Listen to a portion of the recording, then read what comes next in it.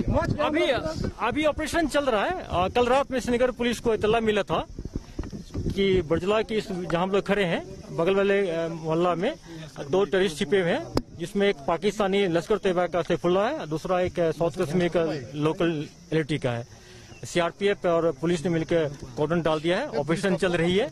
हम लोग बहुत जल्दी इसको न्यूट्रलाइज कर लेंगे ये वही सैफुल्ला है जो सितंबर में एक अटैक हुआ था सीआरपीएफ पर, जिसमें एक हमारे सीआरपीएफ के एएसआई शहीद हो गए थे।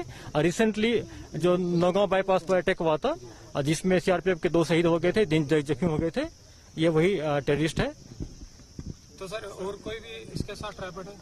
इसमें दो टेररिस्ट ट्रैप है ऑपरेशन चल रहा है। एक लोकल है साउथ कश्मीर का लश्कर तैयबा का। सर इतना टाइम क्यों लग रहा है सर एनकाउंटर में? टाइम लगता है प्रोफेशनली हैंडल करना पड़ता है टाइम लगता है इसमें। सर आपने सरेंडर का मौका दिया था। बिल्कुल आप सब देखें और हमारे पास ऑडियो वीडियो भी है सरेंद्र कपूर का मौका दिया। ये तो हमारे एसओपी का पार्ट है। सर अगर हम बात करें जो कितनी आबादी है वहाँ पे? सिविलियन को निकाला गया वहाँ से? पूरा हर एक सिविलियन को वहाँ से विकेट किया गया अर्ली मॉर्निंग इसलिए टाइम लगा इसमें।